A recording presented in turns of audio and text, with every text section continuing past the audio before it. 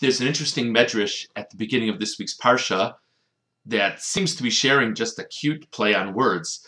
Near the beginning of the parsha, it says, "Vayasev Elokim es ha'am derech hamidbar yam suf." That God led the Jewish people in a circuitous path towards the Yam Suf, towards the sea.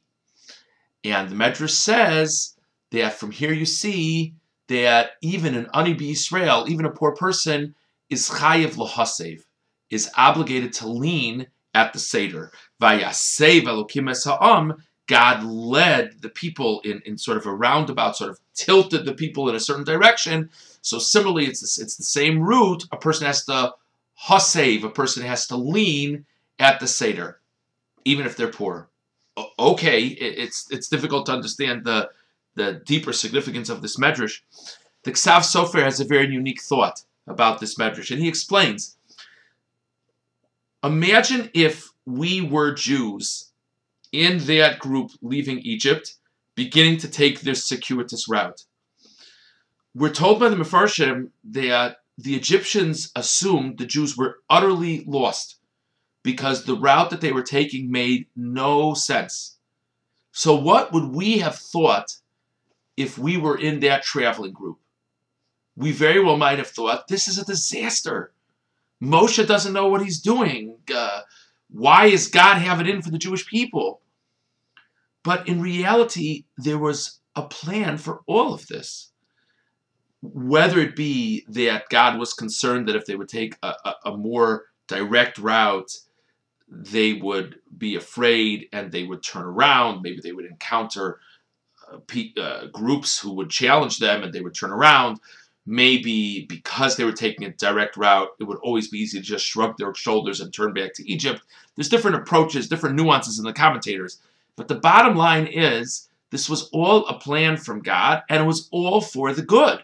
Because this way the Jewish people didn't go back to Egypt. And of course, along this path, they ultimately, in the right place at the right time, had the remarkable showdown with the splitting of the sea as Egypt was uh, coming on their tail. So the Ksav Sofer says, what's the lesson of this pasuk? The Medrash teaches us what the lesson is. If chas v'shalom, a person in our times, can't even afford an appropriate seder, and somehow they, they, they may be kind of sort of, if they ask enough or if they borrow enough, can string together for the matzah and for the wine, they're obligated to do so.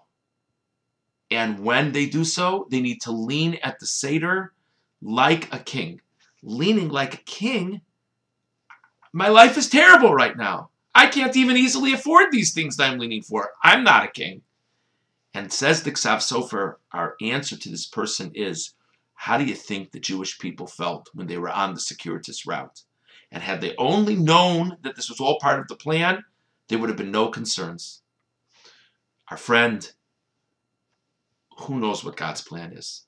Who knows what tomorrow will hold? You might not have much today, but even so, you need to lean in celebration at the Seder. It's something for us to think about, regardless of what's going on in our lives. We all have challenges. We never, never know what the big picture is. Have a wonderful Shabbos.